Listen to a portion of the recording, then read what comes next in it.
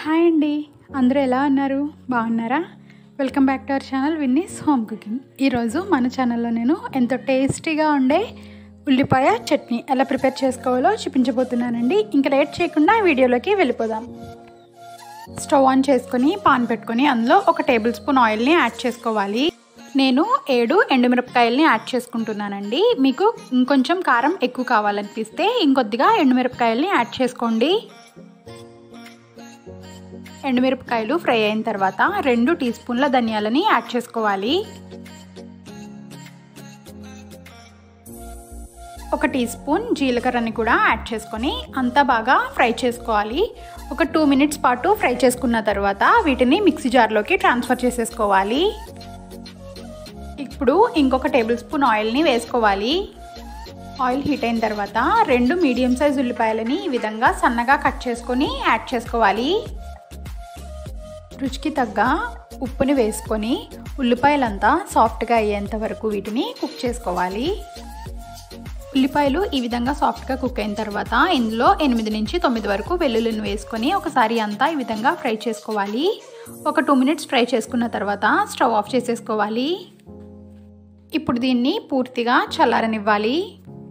మనం ముందుగా ఫ్రై చేసుకున్న ఎండుమిరపకాయలు ధనియాలు జీలకర్రని మెత్తని పౌడర్ లాగా గ్రైండ్ చేసుకోవాలి. ఈ విధంగా గ్రైండ్ చేసుకున్నాక ఇందాక ఫ్రై చేసుకున్న వెల్లుల్లి చిన్న నిమ్మకాయ సైజు చింతపండుని కూడా యాడ్ చేసుకొని మొత్తాన్ని ఒకసారి మెత్తగా మిక్సీ పట్టుకోవాలి. ఈ విధంగా గ్రైండ్ చేసుకున్న దానిలోకి మనం ముందుగా ఫ్రై చేసుకున్న ఉల్లిపాయలని కూడా యాడ్ చేసుకోవాలి. ఈ విధంగా అంతా గ్రైండ్ చేసుకున్న తర్వాత దీన్ని పక్కన పెట్టేసుకోవాలి. ఇప్పుడు అదే పాన్లో ఒక టేబుల్ స్పూన్ ఆయిల్ని వేసుకోవాలి. ఆయిల్ హీట్ అయిన తర్వాత హాఫ్ టీ స్పూన్ ఆవాలు ఒక టీ స్పూన్ పచ్చిశనగపప్పు ఒక టీ స్పూన్ మినపప్పు వేసుకొని అంతా ఒకసారి బాగా ఫ్రై చేసుకోవాలి.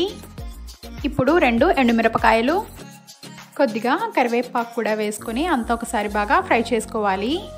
ఇప్పుడు మనం ముందుగా గ్రైండ్ చేసుకున్న ఆనియన్ పేస్ట్ని దీంట్లో వేసుకోవాలి. ఇప్పుడు ఒక నిమిషం పాటు ఫ్రై చేసుకొని స్టవ్ ఆఫ్ చేసేసుకోవడమే. దీంట్లో యూజ్ చేసేవన్నీ ఎటువంటి తడి లేకుండా చూసుకొని యూజ్ చేయాలండి. అప్పుడు ఈ పచ్చడి టెన్ డేస్ వరకు నిల్వ ఉంటుంది. అంతేనండి. మన ఉల్లిపాయ పచ్చడి రెడీ అయిపోయింది. ఇది టేస్ట్ అయితే చాలా బాగుంటుందండి. అన్నంలోకి చపాతీలోకి దేంట్లోకైనా చాలా బాగుంటుంది. ఒకసారి దీన్ని ఇంట్లో ట్రై చేసి చూడండి.